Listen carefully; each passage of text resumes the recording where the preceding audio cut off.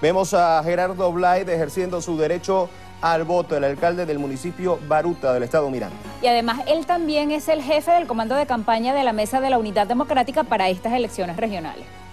Ahí está, ahí lo vemos, recogiendo la cédula de identidad de algún elector y ya finalmente ejerció su derecho al voto. El eh, alcalde del municipio Baruta. Por supuesto, siendo alcalde del municipio de Baruta, le corresponde votar en el estado Miranda.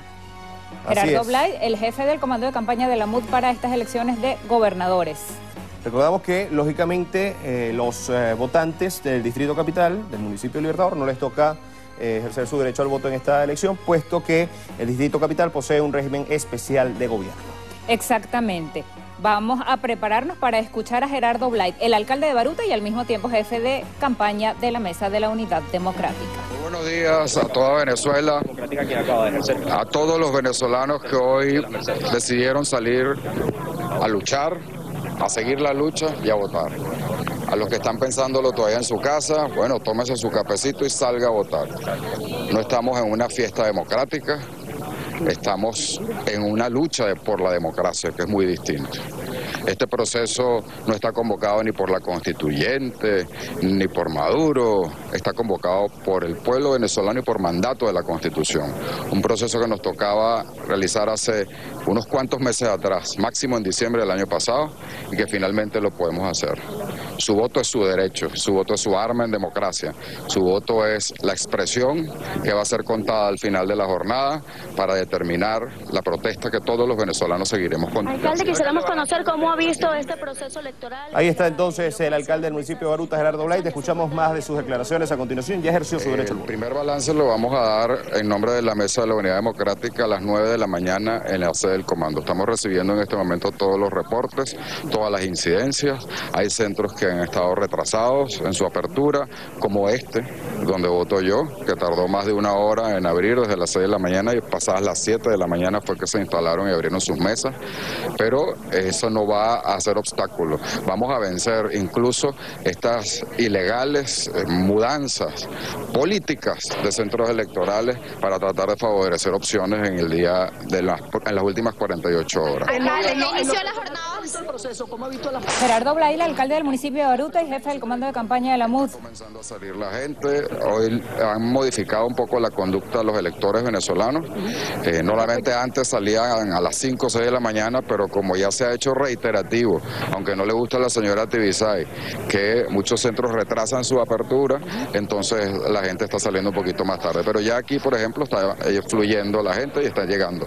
El proceso es rápido para votar, esperemos que no pongan obstrucciones, hacemos un llamado al Plan República para que se comporte de manera adecuada cumpliendo la ley. Eh, hemos pedido reunión tanto con el general Ceballos como con el general Padrino desde el día de ayer. No nos han otorgado hasta esta hora la reunión. Yo espero que podamos tener un canal de comunicación para reportarles de manera directa desde el Comando Nacional de Campaña de la Unidad cualquier reclamo que tengamos por cualquier exceso que pudiese ocurrir. Pero el tema de las movilizaciones. Black votó en el Colegio Mater Salvatoris en Baruta. General Padrino, con el general Ceballos que está dirigiendo el Plan República. El tema de las movilizaciones por parte de la dirigencia opositora para personas que fueron reubicadas ya inició. ¿Cómo ha sido el proceso? Ha iniciado en varios estados, sobre todo en los estados más afectados por estas reubicaciones. Si usted todavía no sabe si fue eh, reubicado su centro electoral y por lo tanto mudado porque el CNE no se ha encargado de informarle, consulte la página de la unidad venezuela.org y ahí estará la información. En los sitios donde el centro fue cerrado hay voluntarios nuestros ah, para dispuestos a mudarlo, a llevarlo a su nuevo centro de votación en el cual a usted nadie le informó porque lo hicieron en las 48 horas y las que tenían que informarle no lo hicieron. ¿Qué información tienen del interior del país? sigue la movilización en varios estados. Estamos también haciendo esa movilización de reubicación en estados como Mérida, Miranda, Anzuategui, Lara, Táchira, que son estados muy afectados por este tipo de movilizaciones de centros de la en, última hora. ¿no? Alcalde, nuevamente para precisar porque... Gerardo Blay, el jefe del comando de campaña de la MUD, quien acaba de ejercer su derecho al voto en el Colegio Mater Salvatoris del municipio Baruta del estado Miranda. Hacía referencia a la movilización de los electores, invitando, por supuesto, a la población a que vaya a ejercer su derecho al voto. Y repitiendo el discurso oficial. Eh, esos observadores ni siquiera se han reunido con nosotros, no nos han preguntado nuestra opinión sobre el proceso, no han pedido ninguna reunión con la, una de las partes más importantes de esta contienda, que es precisamente la unidad democrática. Eso les demuestra a ustedes la absoluta parcialidad, tanto en sus dichos como en su agenda temen que haya, eh, que haya reubicaciones el día de hoy. están pidiendo que la gente vaya al centro antiguo y los van a movilizar hasta el reasignado.